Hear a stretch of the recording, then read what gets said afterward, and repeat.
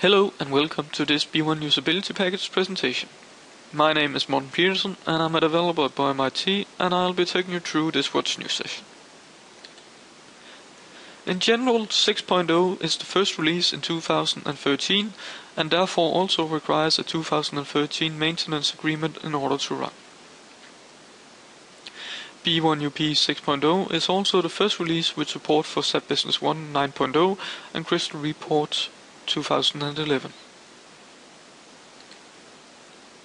6.0 supports SAP Business One 8.82 patch level 7 and higher, and we also support SAP Business One 9.0 in both 32 and 64 bit. We also support Crystal Report 2008 and 2011, and the 2011 version is now, as you know, installed by default by SAP Business One 9.0. In the feature area, the biggest new feature are in the universal functions. We have added a new universal function called file export or UFE for shorthand. UFE is a universal function that allows you to export data from SAP into a custom file format. The flow of UFE is that you start out by defining what data you want to pull from SAP. This can be done using SQL or C Sharp, and you then define a template on how the file should look. This can be an XML format, a separate heavy format like Edifact, or something entirely different. UFE can then take the data and merge it with the template using keywords and the for each syntax, and it can then output a file to a specified location. The advantages of UFE is that you can export any file type. You can also run it as a normal UF using function buttons, B1 validation system, etc. You can also run it on a schedule so you can export files, for example, on a daily basis. You can also run it as a batch directly within SAP Business One. In this screenshot we have made a simple UFE configuration that will export an XML file. The file contains a card code and a card name, and a list of invoices with the doc entry and the doc total. As you can see we have an XML template as the body with the keywords and then we have this for each syntax to write out the lines. We also have some SQL to get the body and the line data. All this put together allows us to export an XML file with the data run from a function button. As you can see you can easily create files using UFE. The next new feature is Universal Function File Importer, or UFI for shorthand. UFI is used for importing data into SAP from a custom file format. The flow of UFI is that you have a file, you then need to write some business logic in C Sharp that reads the file and uses the DI API to import it. And finally, then you have some new data in SAP. UFI is meant as a developer tool as it requires SDK and C Sharp knowledge, UFI however gives you as a developer certain benefits and also lowers the implementation time of a project. First of all, the C Sharp is compiled on the fly, so that you can change and edit the code on-premise and there is no need to recompile an add-on. We have also included a free Visual Studio-like editor for easier code editing. One of the biggest advantages is that we have made all the file logic for you.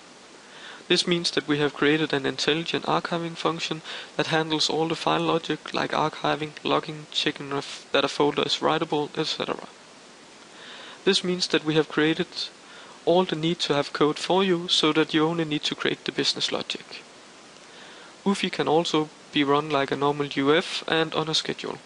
And we also include a free FTP utility that can be downloaded for free and can then be used to upload and download files on schedule.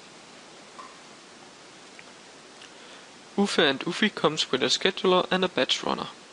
For example, you can make UFE export files on a daily basis, or you can do it manually within SAP Business One.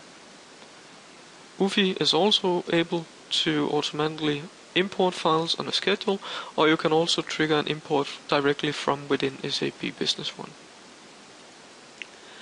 6.0 also brings enhancements to existing modules.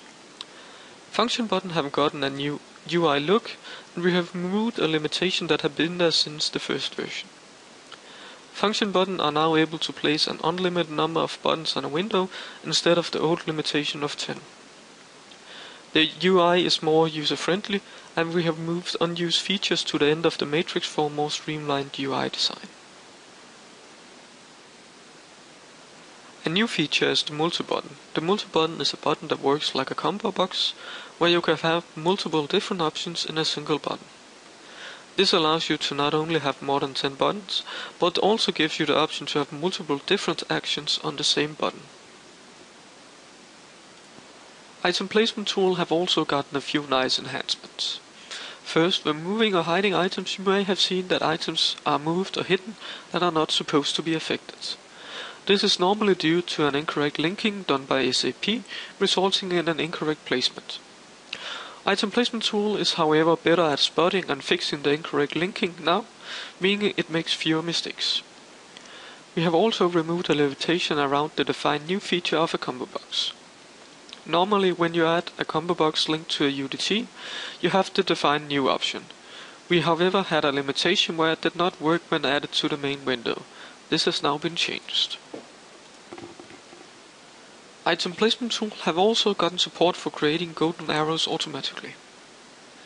Before you had to create the arrows yourself using the content creator, but with 6.0 the system can make it for you. We have a number of supported types by default, and if you need something that we do not support already, you can choose custom and make the functionality yourself using macro. One of our most popular modules, the B1 Printer and Delivery, have gotten a new feature called Custom Reporting. Custom Reporting allows you to send emails from any screen in SAP and it also works on add-on windows. For it to work, you will need to provide the crystal and some key information like where to find the BP info and other key data. The configuration is part of the master delivery system this means that it works on schedules and in mass delivery. In the screenshot below we have set up B1 Print and Delivery to work on the recurring invoice window. And as you can see we have specified some key information for it to work. A new feature made to make the life easier for the consultants are the configuration categories. The configuration category system allows you to create categories and assign configurations to them. You then have the option to get an overview of all the configurations in a specific category. This is meant to be the final step before we create the mass export feature. The configuration overview also allows you to see all the configurations in the system and you can then filter by category, form type and users for an easy overview of the functionality in the system. .NET snippets are a way for us to try to get rid of keywords. When you for example create a B1 validation or a universal function macro, you may sometimes need additional information. This could be things like the name of the window, if a field is visible, enabled, etc. Until now we have manually added keywords to the system to help handle these cases. The problem with the keywords are however that they are not discoverable and that we can never call all the special things that you may want to know. The solution to this is our .NET snippets, where you have the full power of .NET to create your own keywords. On the B1 validation system SQL field and in the universal function macro field, you can right click and get access to a new menu item called .NET code. In the window you can create new keywords where the code of the configuration is the name of the keyword. You then have to specify some code that returns what you want to know, and you have access to the SAP SDK. You can then use the keyword in the B1 validation system and the universal function macro. This way you can create very advanced logic and expose it as a simple keyword. B1UP have gotten quite a few right-click menu items over the time. This can, if you are an SAP super user, be quite confusing in your day-to-day -day work. To handle this, you can now move right-click menu items into a sub-menu. This is done using the right-click and it's user-specific. This feature moves all the configuration options into the sub-menu and makes it easier to find the correct right-click feature. You can of course move the configurations back out into the main menu again. The last new feature is that we have added support for SAP UDO forms. This means that things like function button, item placement tool, etc. now works on SAP UDO forms. As always, this release is available for download at boyum-it.com sbo. Thank you for watching this What's New presentation.